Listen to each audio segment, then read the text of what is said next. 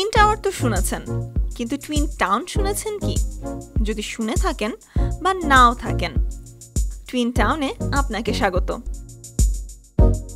Town বলবেন নাকি গ্রাম বলা মুশকিল। ফিলিপিন্সের ছোট্ট দ্বীপ অ্যালাবাট। এই বিশেষ জায়গাটি আগাগোড়াই একটি রহস্য। বংশ পরম্পরায় এই গ্রামে অসংখ্য যমজ মানুষের বসবাস।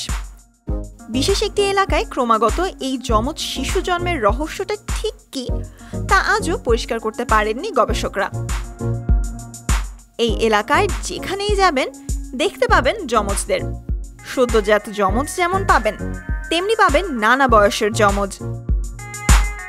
জেনেটিক প্রিডিসপোজিশনের কারণে এই এলাকায় প্রতি তিন পরিবারের মধ্যে অন্তত একটি পরিবারে যমজ সন্তান আছে। কয়েক হাজার পরিবারের বাস অ্যালাবাটে এই পরিবারগুলোতে জন্মেছে শতাধিক যমজ। দুহাজার আঠারো সালের এক তথ্য বলছে, এই এলাকায় যমজদের মধ্যে আটাত্তর জোড়া নন আইডেন্টিক্যাল টুইন এবং বাইশ জোড়া আইডেন্টিক্যাল টুইন আছে। গত কয়েক বছরে জন্ম হয়েছে আরও। সংখ্যাটা একেবারে ফেলে দেওয়ার মতো নয়। অন্য যে কোনো জায়গায় গড়ে যত যমজ মানব শিশু জন্ম নেয়, সেই হিসাবের চেয়ে অ্যালাবাটে যমজের জন্মের হার অনেকটাই বেশি। সারা বিশ্বে প্রতি হাজার নবজাতকের মধ্যে যমজের সংখ্যা মাত্র নয়। অ্যালাবাটে এসে সেই গড়টা পুরোপুরি বদলে যাচ্ছে। গবেষকরা যমজ রহস্যের সূত্র খোঁজার কাজ শুরু করেন। তবে কোনো দিশা তারা এখনও পাননি। রহস্যটা কিন্তু থেকেই যাচ্ছে। কারণটা কি? কেন জন্মাচ্ছে এত যমজ? এর উত্তর মিলেছে অধিবাসীদের থেকে। তবে সে জবাবটা কতটা বাস্তবসম্মত তা নিয়ে প্রশ্ন থেকেই যাচ্ছে। তাদের মতে, এর পেছনে আছে বিশেষ কিছু খাবার ও পানীয়।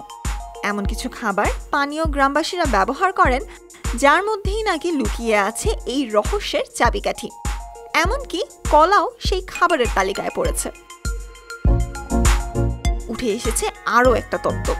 বন্ধত্বের সমস্যা রয়েছে, এমন মহিলাদের এই বিশেষ খাবার এবং পানীয় দেয়া হয়। যার থেকেই নাকি জন্মায় যমজ সন্তান।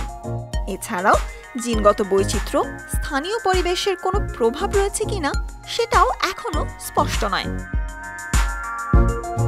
সুলতানা জাকিয়া, সাদা কালো নিউজ।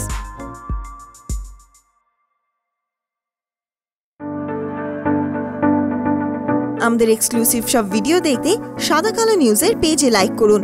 যদি ভিডিও ভালো লাগে তবে অবশ্যই লাইক কমেন্ট শেয়ার করতে হবে। আর আমাদের ইউটিউব চ্যানেলে সাবস্ক্রাইব করতে একদমই ভুলবেন না।